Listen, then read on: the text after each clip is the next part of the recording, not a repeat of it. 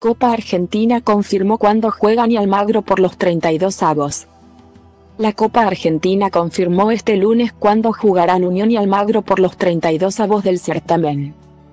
A falta de dar a conocer el horario del encuentro y dónde se jugará, el Tate puede planificar cómo desarrollar las próximas semanas.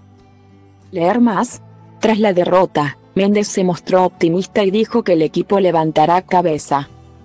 El partido del Tate con el tricolor será el martes 9 de mayo, con sede a definir. Previo a este enfrentamiento, los dirigidos por Sebastián Méndez jugarán ante Lanús por la Liga Profesional.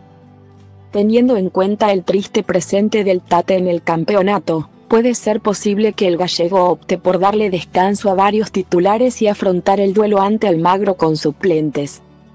Pero es temprano para especular sobre cuál sería el equipo. Miércoles 26 de abril. Miércoles 3 de mayo. Miércoles 10 de mayo. Jueves 11 de mayo. Lo que se lee ahora.